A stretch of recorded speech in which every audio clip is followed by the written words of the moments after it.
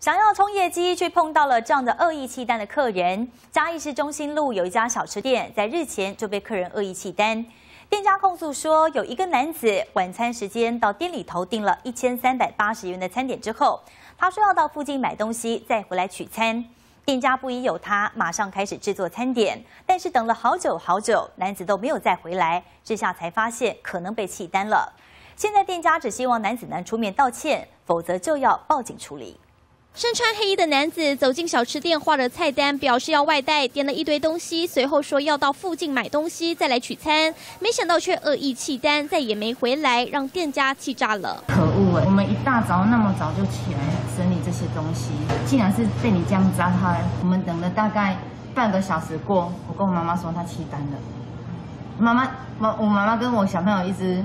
不愿意接受他弃单这件事。事发在嘉义市中心路上的一家小吃店，老板是一名单亲妈妈，独立抚养孩子和母亲。她控诉酒后晚上有一名男顾客来到店里，点了三宝饭、油鸡片饭、猪排饭及小菜，总共一千三百八十元。餐点完成后，直到晚间八点多都没看到人，才惊觉被弃单。情急之下，只好上网剖文，将餐点转送弱势族群。